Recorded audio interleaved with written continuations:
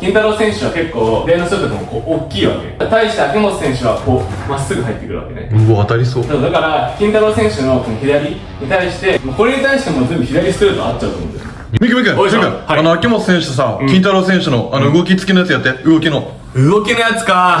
まあやるって言っちゃったからね。そろそろやらなきゃいけないなと思って。楽しみにしてる。まあ、9月29、うん。来週48、えー、金太郎 VS 秋元京馬、いやこれはね、まあ、勝敗予想やるのはさすがにこうね申し訳ないんで、うん。こういう展開になるんじゃないかっていう、おうまあしかし2人ともストライカーだから、うん。割と俺のこの分析の活躍が可能性あるから。立ち技のね。立ち技に関してはね野田葵選手いるじゃん、ブレイキングダウンのさ、うん。野田葵選手がさ最近フォローしてくれてさ、ええまあ、インスタライブやったから見に行ったんよ。そしてこうバーって見てたら俺の分析をめっちゃ褒めてくれてたおおすごい。元 K1 選手がよ。東京行こうかなみたいなこと言ってたの。おおお嬉しい ビッグにビッグに教わりに来る。野田選手から褒められたってことです。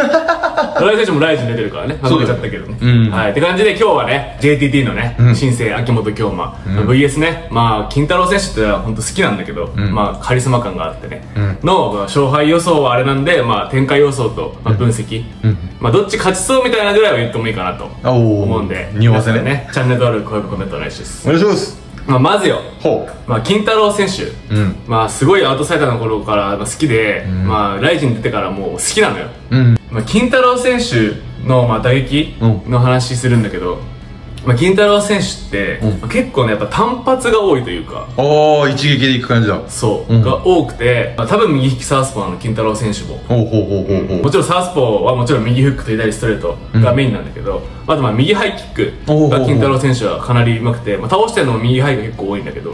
まあ、それはオーストの相手が多いのかな多分倒してるのは。あそういうことか。そうそう。で今回両方ともサウスポーってことでこの金太郎選手が秋元選手に対して、まあ、やることって言ったら、まあ、お互い持ってるものは似てるってわけおでーただ金太郎選手の方がモーションがちょっと大きいのかなっていう秋元選手に比べてね。ああコンパクトじゃないってことか。そうそうそう、ん。で、まあ、コンビネーションで打つわけでもないと。ほであんま金太郎選手がテイクダウンにさ行ってるのって見たことあんまりないから。うそうだね。そうだから本当に立ち技みたいな MMA のキックボクシングみたいな感じになりそうなんだけど、うんうんまあでも秋元選手相当打撃うまいから、まあ、金太郎選手はテイクのフェイントとかうんうん。混ぜながら行くと思うんだよねおそらく。ああなるほどね。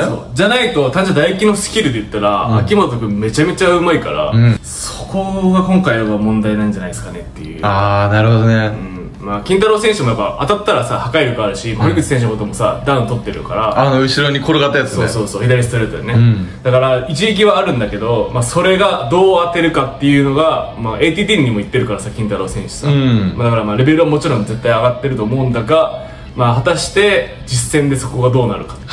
感じだと思いますね金太郎選手に関しては、はいはいはい。うんだからまあ左ストレート右フック右ハイキック、まあ、ここら辺かなっていうおおでまあ金太郎選手ってあとあんまりこのディフェンスの時にこうブロッキングとか使わない、まあ、基本的に距離で避ける。ステップを使うのか。そうそう距離で避ける感じで、まあ、あとねカットとかあんましないのよ。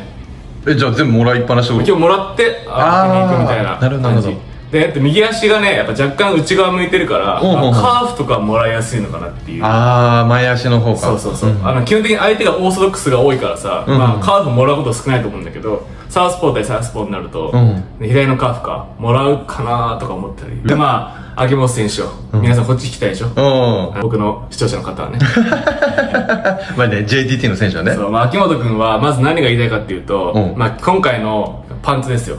うんあのね半分ゴールド、うん。半分シルバーなの。おうほうこれは何かと、うん。えー、甲斐選手がねあのライジンあ最後アーチ打ってた時か、うん。のキックパンツ、金でしたよね。ほうほうほうおう。確かに確かに。でミクル選手が最後やったの、シルバーでしたよね。おう。半々です。ええじゃあ朝倉兄弟履いてるんだ。朝倉兄弟を受け継いでいます。そうやっぱ大好きなんだね。うんだから本当に朝倉兄弟の意思を受け継ぐものだから、秋元選手は、うんここはね確実にねまあどっちも好きだがやっぱ秋元選手に勝ってほしいっていうのはあるんだようね、ん。で牧本選手の、まあ、そう金太郎選手との違いって言ったら、うん。本当にパンチがコンパクト、はいはい。うん、でまあノーモーションで出せてるから金太郎選手が大きく振ってきたとこに全部合わせれちゃうんじゃないかなって思って。る、すごっ。まあ、金太郎選手がもし右フック打ってきても、うん。左ストレート合わせる。左のストレート振ってきても、まあ、左のクロス合わせる。だから全部左が合っちゃう気がするんだよね俺は。ああもう何回想定してもそんな感じになる。右利きサウスポーの人ってさ、うん。右フックにこう頼りがちなんだけど、うん。結局。左ストレートが強いのよ。えめっちゃいいね。そう。右利きなのに左ストレートが強いからほうほうほう。そこがかなり今回のポイントなんじゃないかなっていうえー、面白。うん。まあ左ストレートと右フックの勝負になると思うんだけど、ん。やっぱりそのコンパクトさが秋元君のがあるから、うん。あとね重心。ほう。金太郎選手結構ね後ろ目というか真ん中から後ろ目なのね重心が。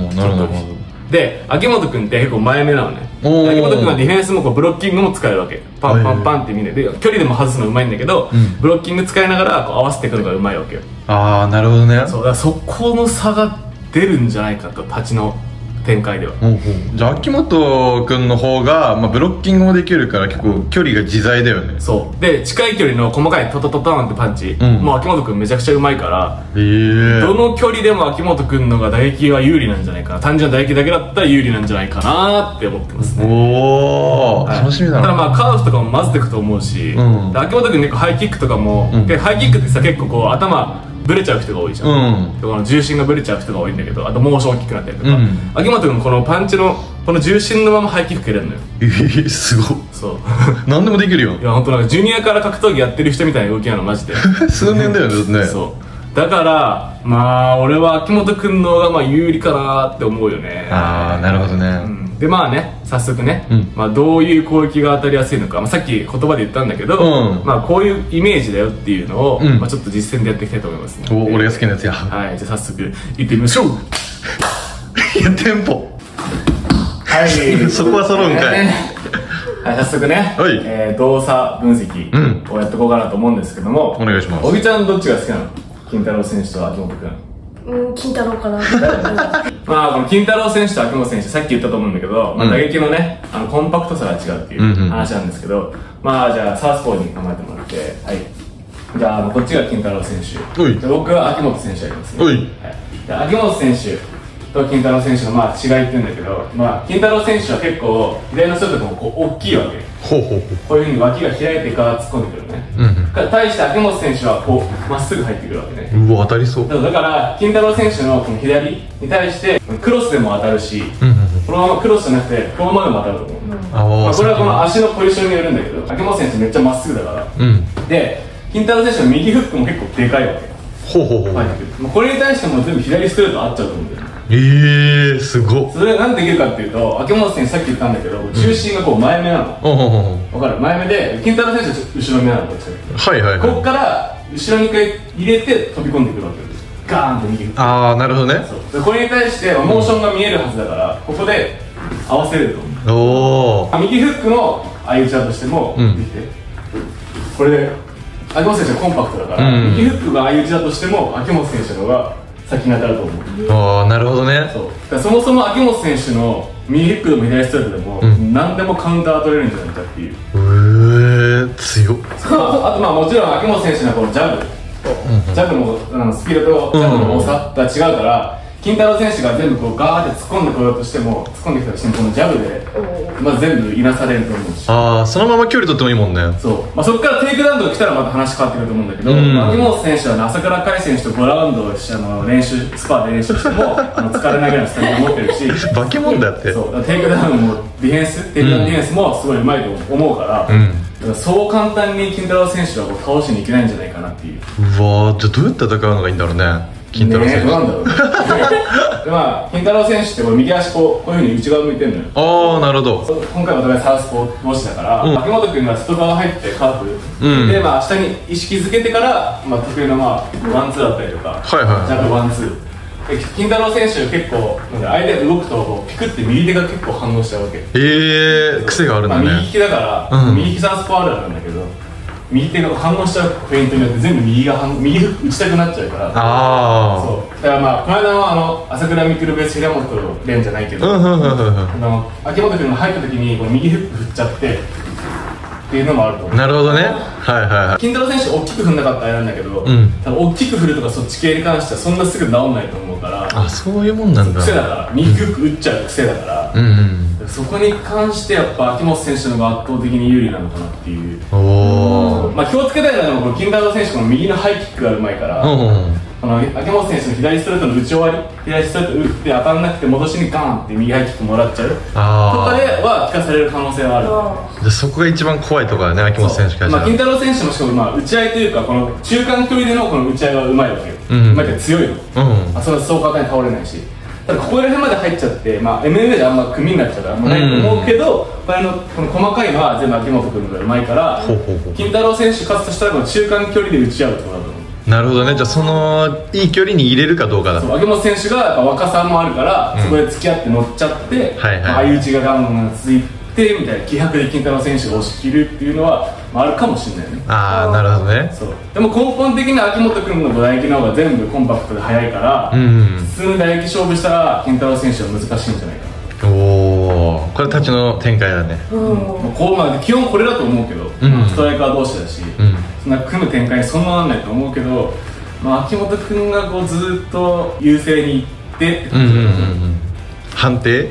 KO まあ、マン KO もあると思うんですよお2ラウンドぐらい。かも1ラウンド後半とか、おおおうん。金太郎選手がやっぱ単発だから合わせやすいんだよねカウンターの選手からしたら。あそうなんだね。コンビネーションで来てくれたらどれに合わせようってなるんだけど、うん。は一発で来るから基本的に。いはいはい。そう。だから左来たら左ボン合わせる、まあ、右来たら右でいいんだけど、全部合わせれるっていうこっちの心の余裕。あで金太郎選手ってやっぱ距離が短いから打撃の、うん。で秋元君はバンタム級なのに1 7 7センチあるわけだからでかいよね。リーチの差もあるわけよ。金太郎選手がいつも通りこう無理に突っ込んできてる時に、まあ、ジャブとまっすぐのストレートが全部合っちゃうと思う。あおお秋元選手しかもメンタルも強そうじゃん。ねうん強いね。なんか乗ら付き合わなそうな気がするんだよな。まあ、秋元君ってやっぱさあんなおとなしキャラなのにさ格闘技の話になるとめちゃくちゃ強気になる。確かに確かに。目ガンってなるよねギュンって。もう勝てるイメージしかないですね。これユースみたいな感じでまあ本当は根はヤンキーなのかもしれないけどね。まあお父さんも結構強そうだしね。そう。まあ秋元君やっぱ全部できるから左とかもうまいしん。右も使えると思うから左だけじゃなくて、まあ、右利きだしねそもそも。なるほどなるほど。全全てにおいて秋元君が俺は有利なんじゃないかなと思ってます。うわーもうそれにしか思えなくなってきたわ。やっぱ金太郎にしては射程距離が短いからそこがまずいのかなって。そこからテイクとか入ってこう混ぜていけば分かんないけどね。あーそうまくいきそうな気もするけど。そうさせなそうだから距離が長いからうんうんうんだから俺と俺と小木ちゃんほどの率差はないけど、ん。まあこんぐらいはあるんじゃない？ええあるからさ左打ってみて見せます。まあ届かないじゃん、こっち届くか。ら、なるほどね。でしかも重心前目だから秋元君がこう強く当てれるから、あそっかそっかそっか。威力も乗るもんね。そう。その重心が結構ポイントだと思うああじゃ秋元君のそこだからやっぱ重心が前だ。から MMA ファイター結構真ん中の人が多い。確かに確かに確かに。ガード高くて前にこうなってるから、あうん。あの強い打撃で打ちやすいからそこが一番大事なんじゃないですかね。おおすごい勉強になりました。ね いや本当に秋元君すごいもん。いやすごいよね。すごい。柳川選手倒してるの実際やばいから。蹴り足キャッチしてねボディ。だから何でもできると思うよやっぱ。ただあの秋元君が一個気をつけてほしいのは俺なんかボディな気がするのよおおボディ。そう。金太郎選手が意外とボ左のボディストレートがうまくて。おおお秋元君の左に対しての左とかボディがこう当たっちゃってこれが効いちゃった場合は結構ありそうっていう。ああはいはい。上は多分ガード高いしブロッキングもうまいから、そう簡単にもらわないと思うんだけど、ん。このボディの左ストレートが怖いからちょっとああそれダメージ溜まっていくと。それがで効かされた時に金太郎選手乗ってきちゃって、ん。ガンガンガンっていく可能性がある、ボディね、ん。ええ面白なんかボディの気がする。唯一なんかあるとしたら金太郎選手があるとしたらボディの攻撃が鍵な気がする。左ボディ効いちゃったらそのさ得意の右ハイキックとかも当たりやすくなっちゃうから。あ下に意識が。はいはいはいはいはそこが怖いかなぐらいだなるほどね。じゃあボディ鍛えといてもらって。そうもう疲れてる。試合待ってあそっかそっか。もう試合あさって試合よ そうだった、はい。という感じでね今日のね動作分析はこうん。れで終わります、もう一回戻るんで皆さん。また見てください。ふい。はい。はい。どうだった？いやめっちゃ分かりやすいな。あと秋元選手が天才だやっぱり。うん。まあ、天才君も重心がマジでいい。本当に、うん。でまああのパラエストラで最初やってたからさ、うん。その組とかさそっち系もうまいと思うから、うん。うんなんかその穴がそんなないんじゃないって思いますけどね。なんか柔道のさ強い人とかからも決めるらしいもんね。そう。でしかもやっぱあの一人朝倉兄弟なんで カエさんのいいとこと、うん。ミケルさんのいいとこ、まあ、両方持ってるんで。やばいね。だからこれは今後チャンピオンになるんじゃないかなって思いますね秋元選手は、なってほしい。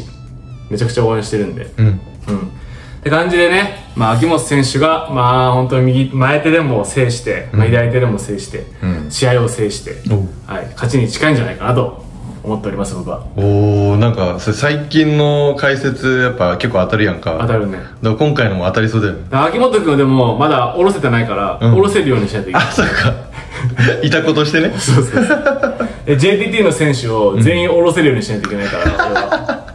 そこがねなかなか至難の技なんですけども、うんうんまあだけどやっぱ右利きサウスポー、僕も右利きサウスポーなんで、だから右利きサウスポーは下ろしやすいよねっていう。あなるほど。入ってきやすい。入ってきやすいね。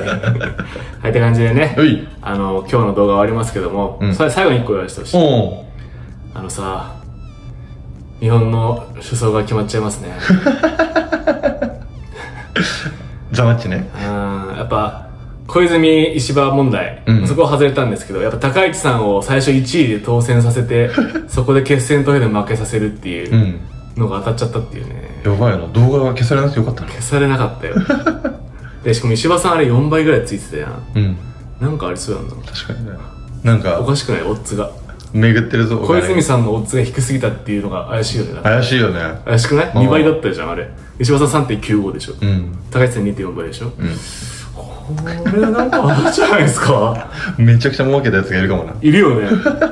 なんかおかしくない？だって決選投票であんなだってさ最初の投票でさ圧倒的に高市さんに勝ってたじゃん、うん。で決選になってなんであんな変わるっていう思いません？まあそれ追求しすぎるとちょっとよくないかもしれない確かにな。まあでも今後の日本がね、良くない方向に行きそうっていうのをあのネットで見ましたよ、まあ、だいぶ良くない。はい、あと我々も徴兵されるかもしれないみたいな噂を聞きましたよ。さすがにちょっともうねねもっと若い子に言ってほしいな。ね、だからそのために18歳まであの成人を引き下げたっていうのを聞きましたよなんか。あそのじゅ準備。しそう準備で、はい、よくわかんないですけどね、はい、日本が良くなることを祈っております本当です。消費税15%だけやめてください。確か本当に。にもっと上がったら。社会保険料の増加もやめてください。はい。本当にやってください。ねすごいよね、はい。絞り取りがね。そう。額面も手取りも両方とも減るっていう噂を聞いてるんで。えー、全然賃金上がらんやんそしたら。やめてもらっていいですか？本当に石破さん。石破さん本当に。いい爪痕を残してほしいなと思います。本当だよね。はい、って感じで、ん。今日のね政治の動画はここで終わります。違う違う違う違う違う。違う違うの あこれ政治チャンネルでしょ？違う違う違う違う。違うこの間ちょっと喋っただけだから。あ違うんだあ違う違う違う。いつの間にか俺政治語れる人だと思ってたわ。あ今度やってくそれ、うん、政治語れると思うんだよな。はいって感じで終わります。皆さんまた次の動画で会いましょう。バイバイ